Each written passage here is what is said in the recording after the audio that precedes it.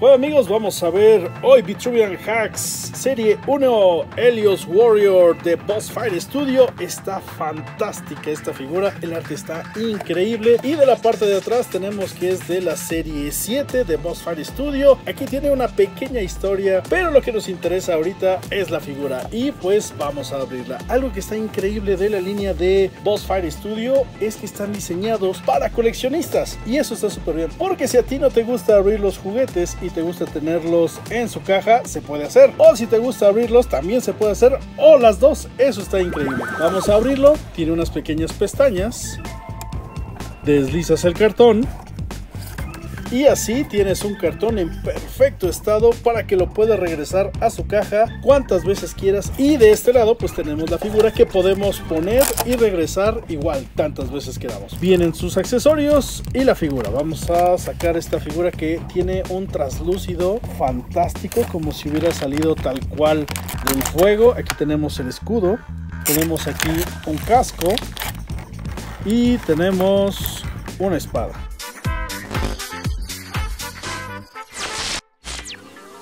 pues aquí tenemos a nuestra figura que vean el trabajo, es increíble el trabajo, el traslúcido, me encanta. Primero vamos a ver aquí está el escudo, aquí tenemos el escudo, está muy bien el trabajo de pintura, tenemos aquí el casco que se lo podemos poner, aquí está,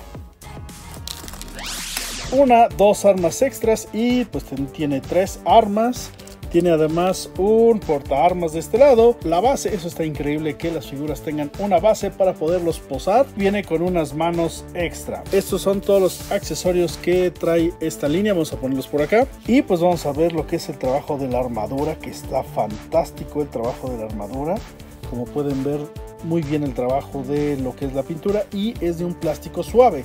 Este plástico suave lo puedes quitar para ponérselo a otra figura y lo cual está súper bien porque está muy cómodo. Detalle de que sean hacks, Highly Articulate Character Kit System o que sean modulares es que prácticamente puedes hacer el personaje que quieras con otra figura de Boss Fight Studio. ¿A qué me refiero eso? Que son modulares y que quiere decir eso que lo podemos prácticamente desarmar. Le podemos quitar la cabeza, le podemos quitar los brazos, ahorita nada más le voy a quitar uno. Podemos desarmar el brazo y la mano. Podemos quitarle el torso, podemos quitarle la cintura y también podemos quitarle los pies. Aquí están los pies. Y así podemos hacer el personaje que nosotros pensemos o imaginemos porque están diseñados para personalizar. Pero vamos a ponerle todos los accesorios.